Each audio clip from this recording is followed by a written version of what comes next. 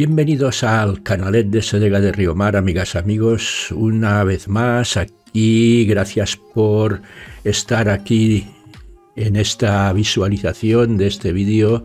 Como no, sin vosotros los que creamos contenido no somos nada, es así. Y vamos a seguir con lo que nos habíamos quedado ayer, por decirlo de alguna manera.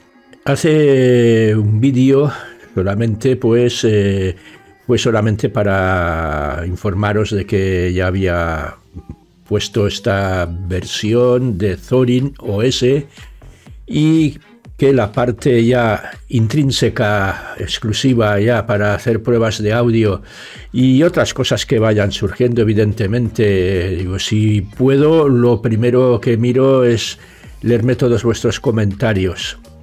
De los comentarios se saca a veces mucha información y sobre todo mucha ayuda. Es así. ¿Por dónde, en qué situación estoy ahora cuando empiezo a grabar ya? Pues tenemos esta situación.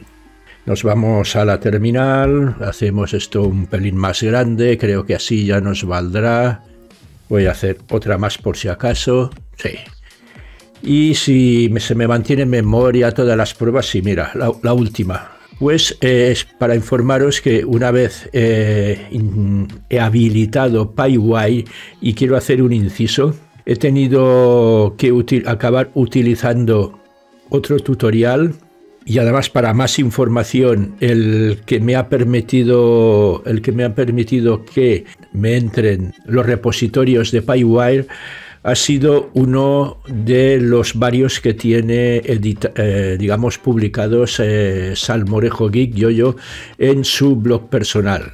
Normalmente intento siempre ir a la última por si acaso, pero el que estaba más acostumbrado porque era tenía cierta rapidez y cierta comodidad, pues al final te salen los avisos de, de precated, mm, perdonadme por la pronunciación, ya sabéis lo que quiero decir, y también he, tenido problemas para instalar o habilitar eh, ciertos parámetros. Pero en fin, ya está todo solucionado. Es un tema que hay que tener presente para habilitar PyWire, cosa que de cara al futuro dejará de ser problema, dado que ya lo llevarán implementado, ya lo lleva la última versión de Ubuntu, la 22.10. Y aquí pues sencillamente pues confirmar que ya estamos en el, nombre del servidor Pulse Audio, pero on Pipewire 0.3.60. Lo que pasa que me ha dejado gratamente sorprendido porque no hace mucho y creo que fue en esta misma máquina, creo que no pasábamos de la 348, 348, estoy hablando de memoria, o bien esa 348 es la que aún tengo en el ordenador viejo con mi entorno de, de Outdoor para temas de productividad y que evidentemente por la razón que sea no, no se me actualiza a versiones más modernas del PyWire. A ver, es un tema que tampoco me quita el sueño porque en breve va a salir una nueva, una nueva versión creo que bastante más afinada de Linux Mint, la 21.1. Ahora no recuerdo el nombre, la, la 21 normal es la Vanessa, esta ahora no me acuerdo exactamente el nombre, digo, mira, por no apuntármelo en un papel, pues a veces quedó mal. Segundo que hay que mirar por aquí, pues muy fácil. Cuando instalas por primera vez, perdón, instalar, habilitar por primera vez PyWire, recordemos que siempre anda por ahí en segundo plano, eh, lo que es PyWire, y como decía, por defecto nos queda el sample rate eh, o tasa de muestreo a 48.000 hercios. Es un tema que tampoco voy a tocarlo. ¿Para qué? Haremos los honores que haya que hacer a esta magnífica distro de Zorin OS y a ver, y a ver por dónde sale. Y a mí lo único que me interesa es, aparte de la productividad, de aparte del entorno, aparte de gustos, sobre gustos no hay nada escrito, pero en fin, el usuario de Thorin, que por lo que sea, vuelvo a lo mismo, porque su máquina lo admita mejor después de haber hecho varias pruebas, creo, mm, hablo por mí, porque yo pruebo varias distros hasta, hasta meter la que, la que realmente se encuentra más a gusto en una máquina. Y no creáis que estoy muy contento aún, pero eso es otra historia. Si hacemos un, un AME, por ejemplo, menos, menos, menos, ahora sí, menos R, veréis que tengo aún el kernel genérico. ¿Por qué? A ver, he instalado mm, siguiendo la pauta que os he machacado muchas veces, cómo se instala un kernel en Ubuntu y basadas o derivadas, pero solamente en esa línea. Mm, no, me, no vale esos comandos, por ejemplo, para un Debian y sus derivadas. Eh, lleva, lleva otro tipo de comandos. Os lo digo porque es que lo he estado mirando a ratos también eh, para tenerlo en cuenta si vuelvo a instalar una, una Debian o derivada otra vez. En este caso, lo que es Ubuntu, pues mm, he hecho, he seguido la pauta, mm, os he enseñado varias veces, según mi costumbre, en varios vídeos. Me ha instalado un kernel low latency, perfecto, reinicio, veo que no me carga, sigue como está ahora con el genérico. Bien, al momento vuelvo a reiniciar, arranco por el menú del group y uno de los menús que te salen es entrar en la opción de escoger el kernel. Si lo escoges por allí, eh, resulta que si no editas eh, el group, pues cada vez que reinicies de nuevo siempre te volverá al genérico. Tienes que dejarlo eh, de manera a editar una línea y que te escoja el low latency, pero no lo voy a hacer. Y ahora viene la bomba. Resulta que siguiendo la misma pauta que en un Ubuntu, que en un Linux Mint, que en un Ubuntu Budgie, que en el Ubuntu, perdón, en el Kubuntu que estuvo hace poco, pues allí fue perfecto. Aquí que me instala, me instala el 5.4 un low latency de, vete a saber si del neolítico o, haciendo un poco de broma, exagerando evidentemente, o ya nos presentamos, yo qué sé, en, la, era del Homo sapiens, no lo sé, pero el caso que yo un 5.4 y, y, probar por probar, prefiero que Cadence me dé el error que me diga, ay, es que no es low latency, no es real time, es igual haremos las pruebas que hagamos, lo único que, implica es que podemos tener más latencias mm, que de la otra manera te quedarían más minimizadas. Y dicho esto, pues ya vamos a continuar ya con la instalación antes de arrancar por primera vez Arthur.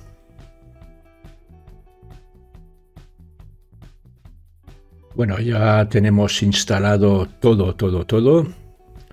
Dicho esto, lo primero que se está mostrando aquí en la pantalla es el patch Y QPW Graph, el cual nos está mostrando cómo tenemos interconectados entre sí los distintos módulos de audio, en este caso de audio, evidentemente, que es lo que ha encontrado en, este, en esta máquina.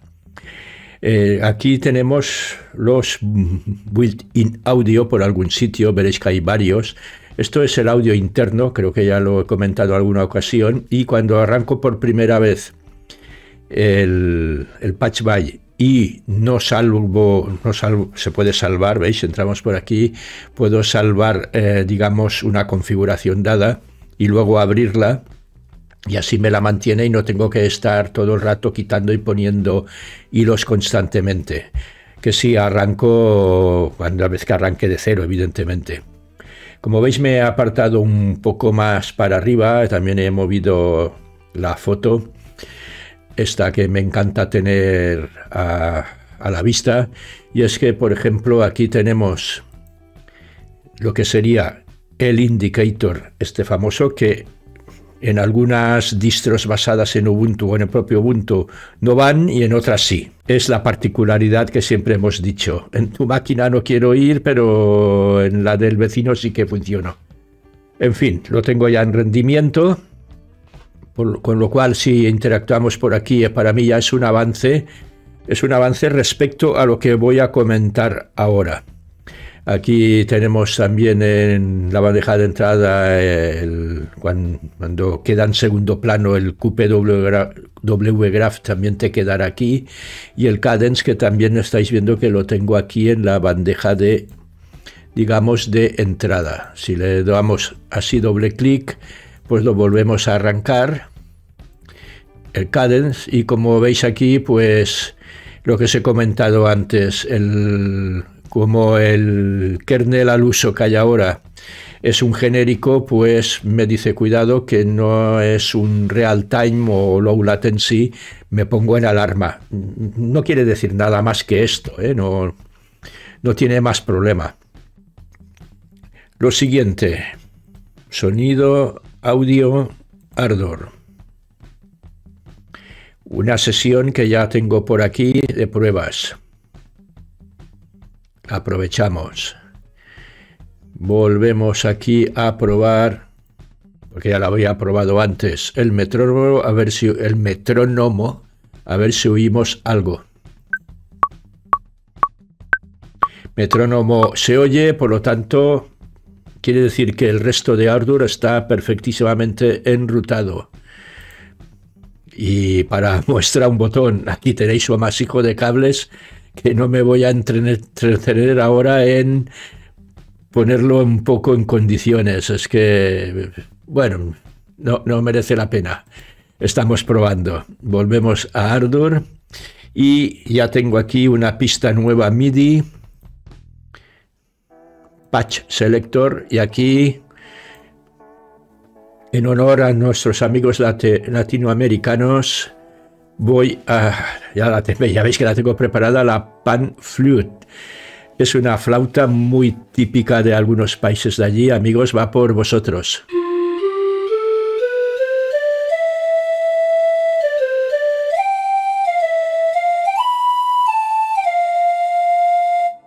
Me hubiera encantado tener aquí a mano el teclado, pero aparte de que es muy grandote, está hecho polvo. Y en fin, a ver si alguna vez ya dejo de hacer cositas con el ratón. Y ya puestos a dejar de hacer cositas, pues os emplazo al próximo vídeo en que probaremos los plugins de Calf. Plugins que después de probar un montón eh, que tengo por ahí eh, guardados en, en el disco de reserva, eh, descubrí o redescubrí, mejor dicho, porque es que no los tenía ni en mente, gracias al compañero Calamarines, que es el que los suele utilizar mucho. Y os emplazo a que veáis también sus vídeos, entrad en su canal, en el canal Calamarines, porque tiene también unos vídeos en que eh, os hace unas pruebas de precisamente de estos, estos plugins y cómo se conectan. Yo a su vez nada más intentaré cargar un plugin de Windows, a ver si no tiene por qué dejar de funcionar esta vez, pero es un tema muy un poco también pesado porque tengo que instalar antes lo que es el, el Wine, el Wine que tengo que averiguar por qué ¿Por qué hay que poner el white stacking y no el estable? Pero siempre me, que he, buscado información por ahí, siempre me lo han vendido así, que funciona mejor el stacking en el tema plugins. Eh, tendremos que instalar otra vez el, puente este, el Jabrix, nada más para probar, para probar un, miserable plugin basado en Windows. Probaremos uno solo de los, eh, de los eh, externos a, a, Ardour, a los que están fuera de KX Studio, alguno de KX Studio y poca cosa más. Y así que ahí lo dejo. Ya os he pegado la paliza, os he dado la chapa ya demasiado rato. Amigas, amigos, gracias por verme, gracias por este agradable rato con vosotros y hasta el próximo vídeo. Hasta pronto.